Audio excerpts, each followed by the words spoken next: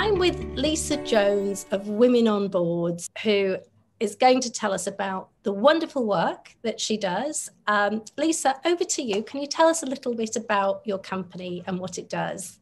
Yes, thank you. So, Women in Boards really exists to encourage and inspire women to take on senior roles and senior roles in the organisations that they work for, but also non executive roles, non executive director roles outside their company. Because we really believe and passionately believe that there are opportunities for women at all stages of their career to take on non exec roles, weave them into their executive career plans and why?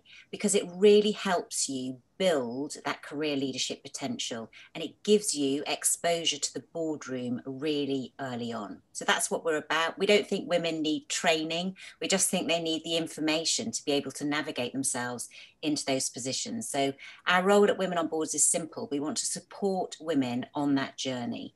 And it's about helping you navigate the way. It's about getting you to understand what gets you ahead in an organization so that's who we are.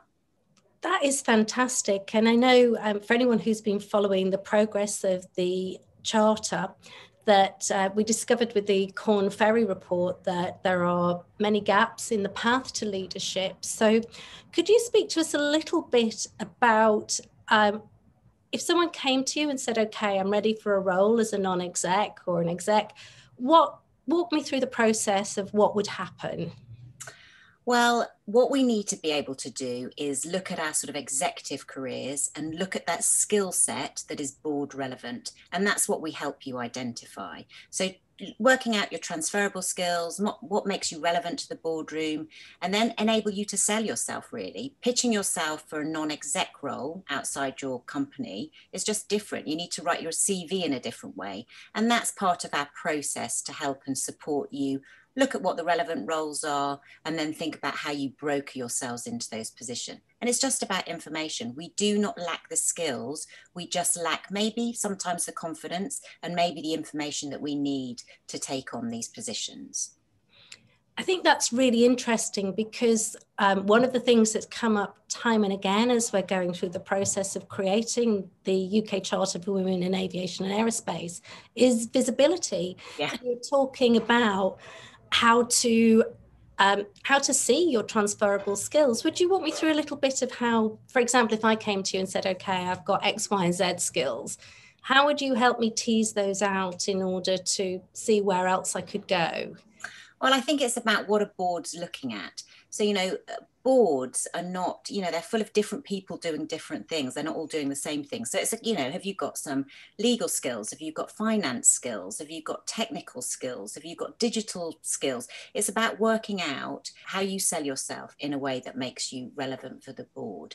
Um, and i suppose that's the critical first thing is identifying those transferable skills. And often those transferable skills are aggregated over the course of our career. It's not necessarily just what we've been doing in the last six months or in the last position.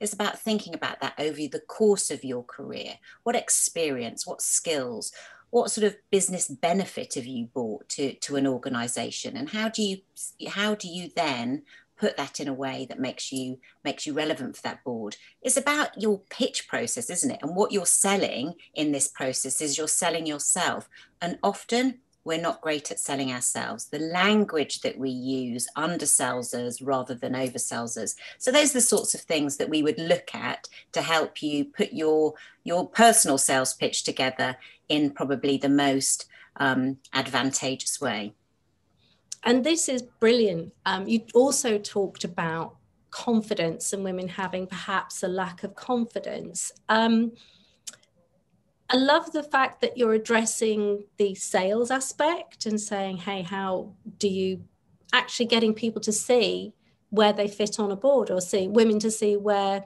we would fit on boards. Yeah. Um, do you do any work to bolster people's confidence as part of your process or make some recommendations?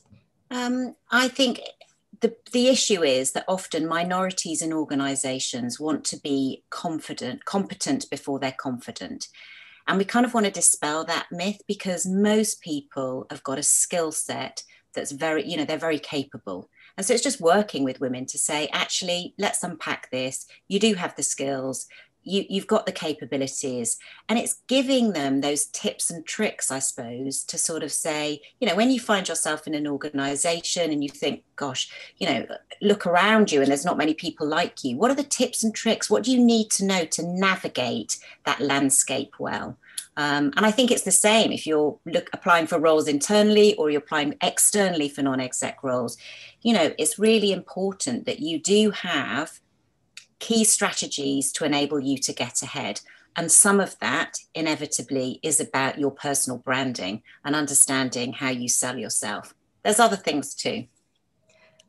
I love that. I'm going to take that away and uh, take note, anyone who's watching this, you don't have to be competent before you're confident because when is the point when you decide that you're ready? I think is what you're saying. When yeah.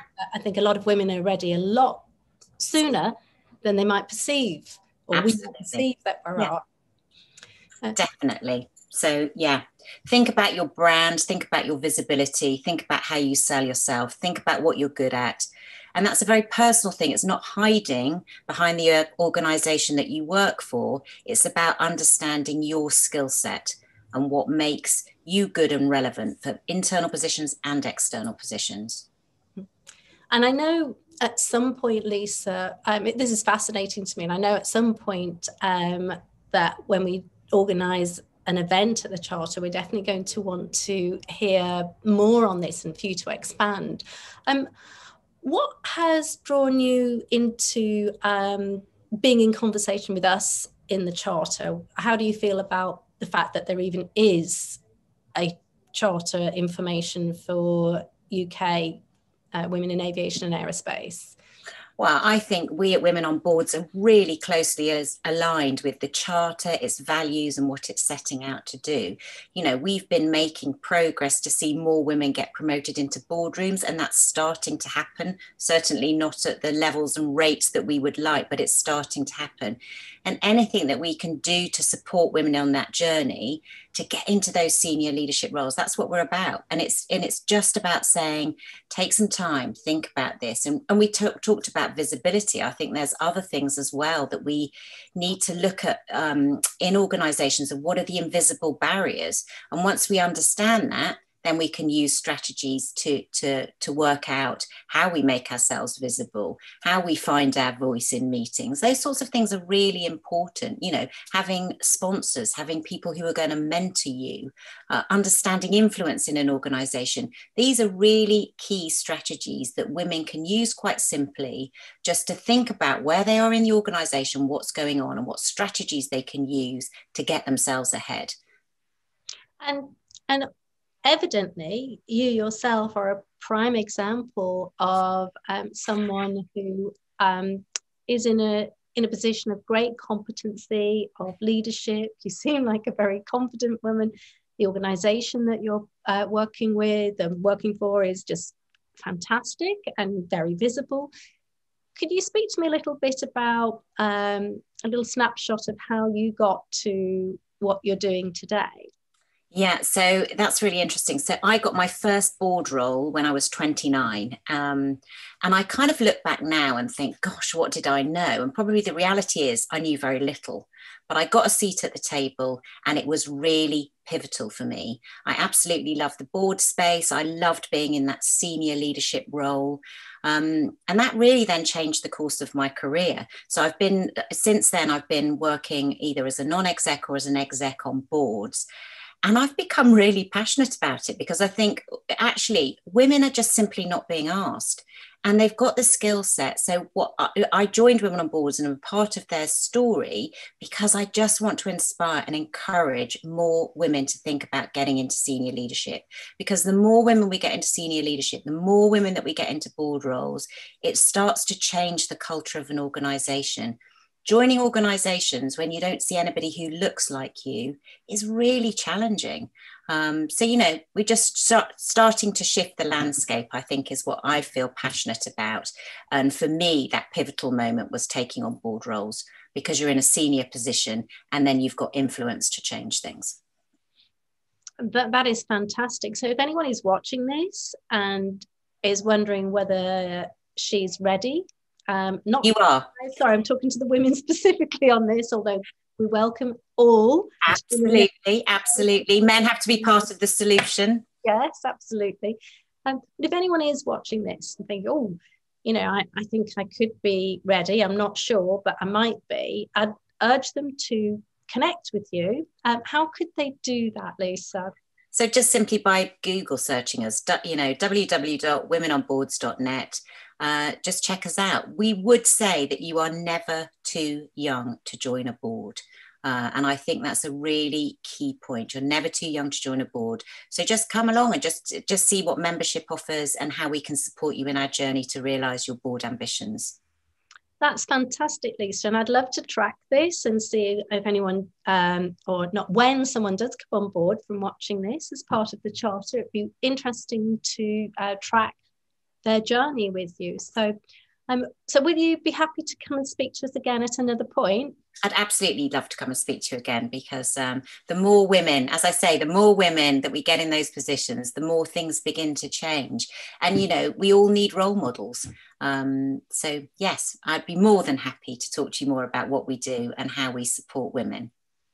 Lovely. Thank you, Lisa. Thank you so much. And for anyone who doesn't know, my name's Liz Moscrop. I sit on the Communications Committee for the Charter and we'd love one and all to get involved with the Charter as well. And you're not too young, too old, too anything to be involved with the Charter. So we're going to put details to contact Lisa and how you can contact us at the Charter to get involved with helping shape it. Thank you so much, Lisa, and have a wonderful rest of your day. Thank you. It was a real pleasure. It was lovely to talk to you, Liz.